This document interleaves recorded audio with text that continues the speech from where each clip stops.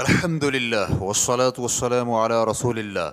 जलने और किसी चीज़ के नीचे दब कर मरने वाला शख्स शहीद क्यों होता है?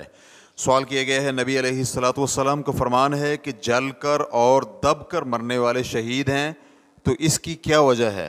अलजवाब बेन सुबहान ताली जनाब अबू हुरैरा रज़ी अल्लाह से मरवी है कि रसूल अकरम सल्लल्लाहु अलैहि वसल्लम ने फरमाया, शहदा पाँच हैं ताउन की बीमारी से फौत होने वाला, पेट की बीमारी से फौत होने वाला, डूब कर मरने वाला, दब कर मरने वाला और अल्लाह की राह में शहीद होने वाला।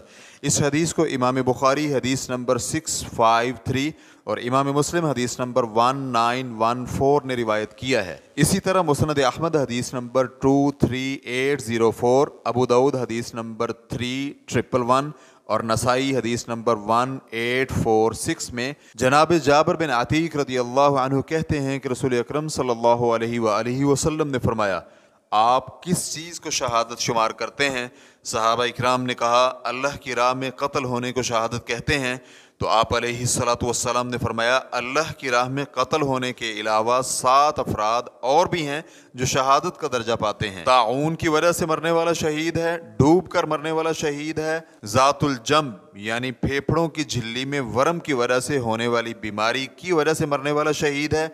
पेट की बीमारी की वजह से मरने वाला शहीद है, जल कर मरने वाला भी शहीद है और दब कर मरने वाला भी शहीद है।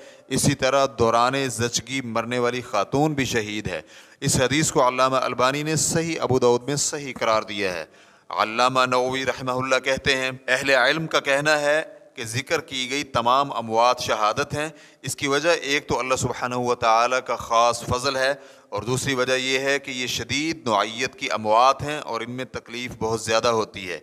अहल इलम ये भी कहते हैं कि इन सब लोगों की यहाँ शहादत से मुराद ऐसे शहीद हैं जो जहाद फ़ी सबील्ला में शहादत ना पाएँ, क्योंकि ये सब लोग आखिरत में सवाब के अतबार से शहीद हैं, जबकि दुनिया में उन्हें गसल भी दिया जाएगा और उनका जनाजा भी अदा किया जाएगा।